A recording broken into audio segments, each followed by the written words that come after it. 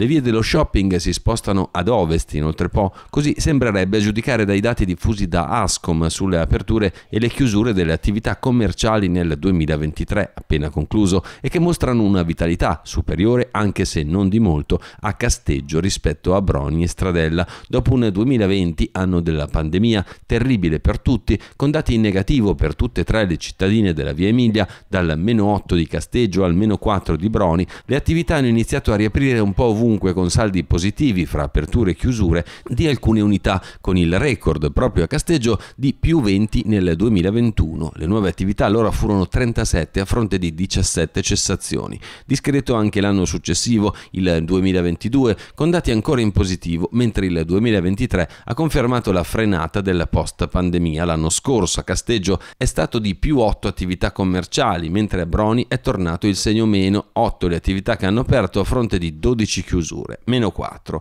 Non ancora pervenuti i dati di Stradella, fino a non molto tempo fa reginetta del commercio e della movida della Via Emilia, anche se secondo alcuni osservatori il 2024, complici i prezzi degli affitti piuttosto elevati rispetto alle altre cittadine, non sembrerebbe essere partito con il vento in poppa. Casteggio rimane la, mm, il comune più dinamico dal punto di vista aperture e chiusure, mentre Broni rimane sempre un po' più in difficoltà Stradella non abbiamo ancora i dati uh, delle aperture e chiusure, quindi tra Casteggio e eh, Broni diciamo che uh, quello un po' più in difficoltà è Broni.